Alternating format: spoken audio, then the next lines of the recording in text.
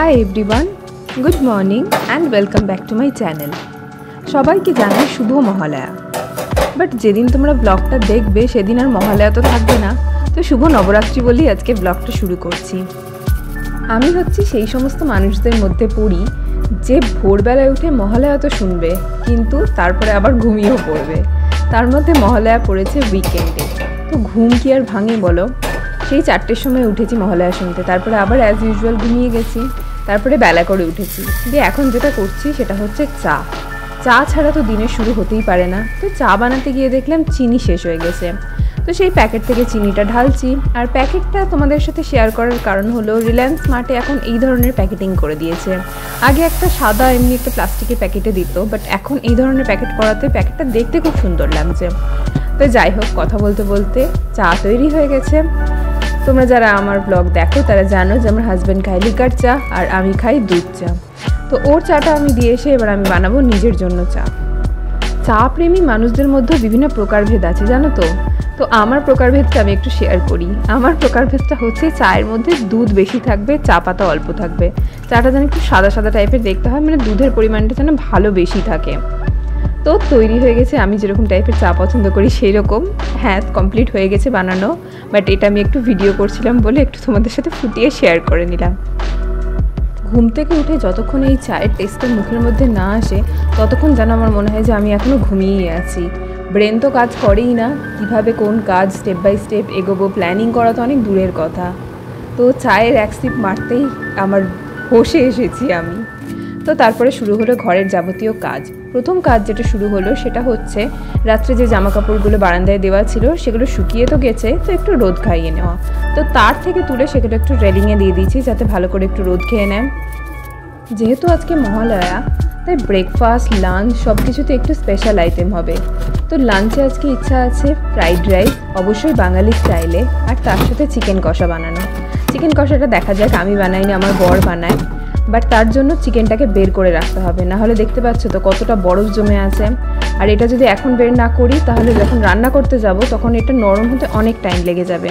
তো যতক্ষণ আমি ব্রেকফাস্ট বানাবো, ততক্ষণে চিকেনটাকে আমি জলে ভিজিয়ে রেখে দিলাম। স্পেশাল ব্রেকফাস্টের মধ্যে আছে আজকে সেময়ের উপমা। উইকেন্ডে আমরা এমন করে বাজার করি যাতে আমাদের সারা সপ্তাহ বাজারের আর টেনশন থাকে না। তো বাড়িতে আজ সকালে বাজার বলতে তেমন কিছুই ছিল না। ফ্রাইড রাইসের জন্য যে সবজিগুলো লাগবে অ্যাটলিস্ট সেগুলো পর্যন্ত ছিল না। তো ভর্তি করে বাজার করে নিয়ে আসলো। ততক্ষণে আমার স্নান পুজোও হয়ে গেল। তো বাজার করা মানে একটা হিউজ কাজ, সেটা হচ্ছে সমস্ত কিছু অর্গানাইজ করে রাখা। যেগুলো যেগুলো কেটে রাখতে হবে, সেগুলো এরকম বক্সে আমি কেটে রেখে দিই। যেমন দেখতে পাচ্ছ এখানে বাঁধাকপি, দুদিন কুমড়ো বানাবো, সেই অনুযায়ী দুদিন ডিভাইড করে রেখে দিয়েছি। একটা বক্সে কেটে রেখেছি করলা। তো এরকম করে আমি ডিভাইড করে রেখে দিই যাতে আমার পরবর্তীকালে সুবিধা হয়। কারণ হাজব্যান্ড সকালে বেরোয় অফিসের জন্য। তো সকালে লাঞ্চ বানানোর থাকে। তো সেই জন্য আমার নিজের সুবিধার্থে আমি সমস্ত কিছু কেটে কুটে রেখে দিই। তো স্নান পুজো হয়ে গেছে আমার। তারপরে চলে এসেছি আমি ফ্রাইড রাইসের জন্য চপিং করতে। তো এখানে কেটে নিচ্ছি আমি ক্যাপসিকাম আর ফুলকপি। তো এই ফ্রাইড রাইসের রেসিপিটা completely my kind of recipe যার মধ্যে বাড়িতে যে সমস্ত সবজি থাকে সেগুলোই অ্যাড করে দিই। আজকে যেমন আমার কাছে ক্যাপসিকাম, ফুলকপি ছিল, আর এর সাথে অ্যাড করব আমি অল্প একটু কাজু আর অল্প একটু কিশমিশ। তো পুজো যখন হয়ে গেছে বললাম, তো তোমরা আমার মন্দিরে দর্শন করে নাও। এবার চলে আসি আবার খাবার দাবার পর্বে। তো চিকেনটা দেখো কি সুন্দর কালার এসেছে। ইয়ে বানাচ্ছে বলো তো? এত সুন্দর কালার যখন এসেছে, তখন আমার বডি ডেফিনেটলি রান্নাটা করছে। তো চিকেন কষাটা ও বানালো, আর আমি বানালাম ফ্রাইড রাইসটা ভাতটা তো আগেই হয়ে গেছিল, সবজিটা ভেজে তার মধ্যে ভাতটা অ্যাড করে দিলাম। ও হ্যাঁ এর সাথে একটু ডিমের ভুর্জিও অ্যাড করেছি, যাতে খেতে ভালো লাগে। আর ওপর থেকে নামানোর আগে অল্প একটু মিষ্টি দিয়েছিলাম। একটু মিষ্টি মিষ্টিও হয়েছিল। তো এরকম স্পেশাল দিনে আমি এরকম একটু সুন্দর করে সার্ভ করে খেতে দিতে খুব পছন্দ করি। তো ইচ্ছা তো ছিল দুজনের থালটা এরকম সুন্দরভাবে ডেকোরেট করে দেওয়ার। বাট আমার থালের মধ্যে যখনই আমি দিতে গেলাম, যেই না বাটিটা তুলেছি, অমনি ভাতগুলো চারিদিকে ছড়িয়ে গেছে। বাট চলো কোনো ব্যাপার না। ওর মধ্যেও থামনেলের জন্য ফটোশ্যুট করে নিল। এবার বসে গেছি আমরা লাঞ্চ করতে। স্পেশাল মেনু হলে একটু লেট তো হয়েই যায়। বাট খেতে অসাধারণ হয়েছিল, দুর্দান্ত টেস্ট হয়েছিল। তোমাদের সাথে আমার গাছের কন্ডিশন শেয়ার না করে কি করে থাকতে পারব? তো দেখে নাও, নয়নতারা গাছটা খুব সুন্দরভাবে বড় হচ্ছে। যখন লাস্ট টাইম শেয়ার করেছিলাম, তখন অল্প একটা দুটো পাতা বেরিয়েছিল হয়তো। আর তার সাথে সাথে বাকি গাছেরও এই অবস্থা। মানি প্ল্যান্ট গাছটা খুব সুন্দরভাবে বড় হয়ে গেছে। বাট আমার টমেটো গাছের কন্ডিশন খুব একটা ভালো নয়। কি ফল্ট হচ্ছে বুঝতে পারছি না। হয় খুব বেশি জল পড়ে যাচ্ছে বা খুব বেশি রোদ পড়ে যাচ্ছে, পাতাগুলো হলুদ হলুদ হয়ে আসছে। এরকম থাকলে আমি জানি না এই শীতে আমার এই গাছ টমেটো দেবে কিনা, কবে ফুল আসবে, কবে ফল আসবে।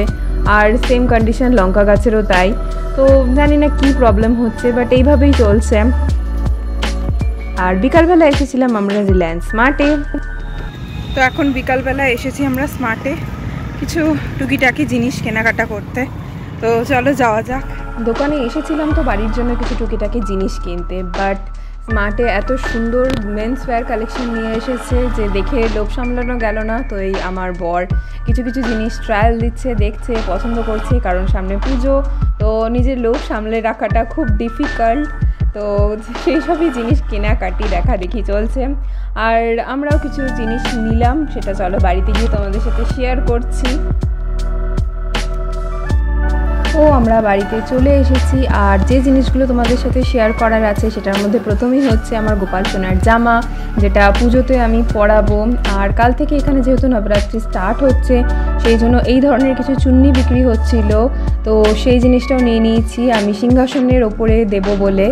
আর সঙ্গে নিয়েছি ফুল। ফুলও এখানে খুব একটা সচরাচর পাওয়া যায় না বাট কাল থেকে যেহেতু অনুষ্ঠান শুরু হচ্ছে, তাই ফুল নিয়ে বসেছিল।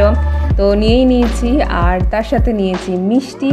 ও হ্যাঁ তোমাদের সাথে আরেকটা জিনিস শেয়ার করার আছে। মহলা স্পেশাল বানিয়েছিলাম এই দুটো জিনিস। প্রথমটার নাম আমি জানি না গজা না কি বলে বাট সেকেন্ডটা হচ্ছে নিমকি। তো ব্যাস, এই ছিল আজকের ব্লগ আর রাত্রে বাড়ি এসে ইন্ডিয়া পাকিস্তানের ম্যাচ দেখে আমাদের আজকে দিনটা কমপ্লিট হলো।